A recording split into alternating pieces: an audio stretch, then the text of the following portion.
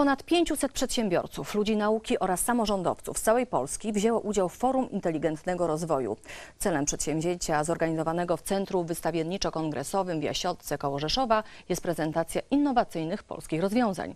Chodzi o różne dziedziny oraz wypracowanie takiego modelu współpracy świata biznesu, uczelni i władz lokalnych, który pozwoli najlepiej wykorzystać pieniądze z budżetu unijnego na lata 2014-2020. Jest to wydarzenie naukowo-biznesowe, ogólnopolskie.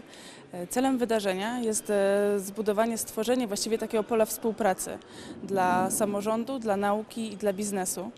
E, Jesteśmy przekonani, że właściwie na tych trzech filarach powinna opierać się innowacyjna gospodarka, więc przede wszystkim chcielibyśmy, żeby skutkowały dyskusje tutaj, czy debata, żeby skutkowała takimi rozwiązaniami, które będą jak najlepsze, e, jeżeli chodzi o rozwój Polski.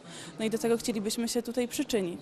Są to przedstawiciele świata nauki, przedstawiciele instytutów badawczych, e, innowacyjnych polskich przedsiębiorstw, też e, przedsiębiorstw, które korzystają z funduszy unijnych, bo, bo chcielibyśmy przede wszystkim też opierać się na tej nowej perspektywie unijnej do 2020 roku.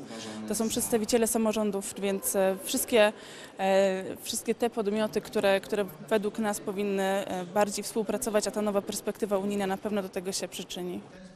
Organizatorzy wybrali Podkarpacie jako miejsce Forum Inteligentnego Rozwoju nieprzypadkowo. Region należy do najszybciej rozwijających się w Unii Europejskiej. Między innymi dzięki zdobyciu 6 miliardów euro z poprzedniego budżetu wspólnotowego na lata 2007-2013.